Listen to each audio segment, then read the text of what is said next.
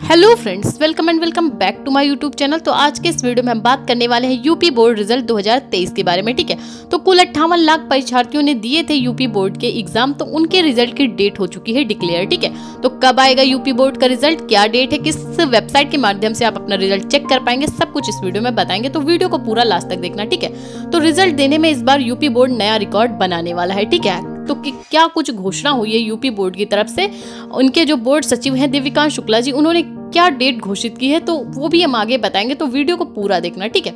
तो रिज़ल्ट देने में इस बार यूपी बोर्ड नया रिकॉर्ड बनाने वाला है, ठीक है? पिछले पाँच वर्षों की बात करें तो इस बार यूपी बोर्ड के जो छात्र हैं, उन्होंने 90 प्लस मार्क्स से ये परीक्षा पास की है, ठीक है? तो बोर्ड का जो रिज़ल्ट है, अप्रैल के तीसरे सप्ताह में जारी हो जाएगा, ठीक है? पहले सप्ताह में आपके प्रैक्टिकल एग्ज़ाम कराए जाएँगे, क्योंकि आपकी जो कॉपी चेक हो रही थी 18 मार्च से आपकी 31 मार्च तक कॉपी चेक हो चुकी है। इसके बाद क्या था? जो, जिन लोगों की प्रैक्टिकल एग्ज़ाम छूट गए हैं, वो प्रैक्टिकल एग्ज़ाम अप्रैल के पहले सप्ताह में, उसके बाद 20-25 दिन लगता है इस प्रक्रिया में। इसके बाद रिज़ल्ट अप्रैल के तीसरे सप्ताह में घोषित कर दिया जाएगा, ठीक है? उनके लिए जो भी छात्र रिज़ल्ट के परिणाम से संतुष्ट नहीं होंगे, उनके लिए भी यूपी बोर्ड ने सूचना लागू कर दी कि वो हेल्प डिस्क पर शिकायत करा पाएँगे, ठीक है? अपनी शिकायत दर्ज करा पाएँगे। इसके लिए क्या किया है?